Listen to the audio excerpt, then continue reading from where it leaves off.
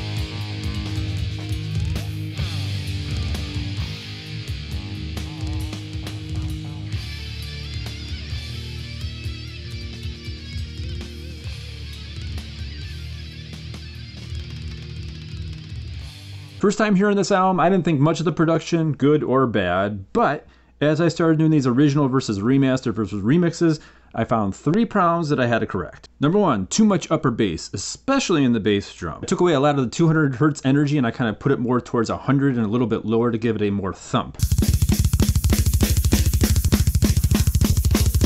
Number two, the instruments feel just kind of too bunched up, like they're all stuck in the middle. It almost sounds mono-ish. Mine sounds a little bit wider, more expansive, more instrument separation. And the third one, which I really wanted to correct, was there's this ice pick frequency in the guitars that really just sound like it's somebody's jamming something into your ear.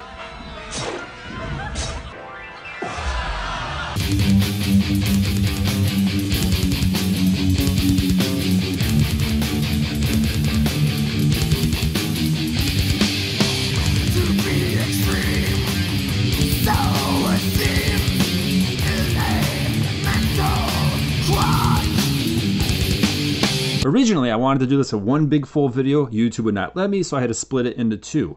And if YouTube hasn't taken it down, the other video is right here.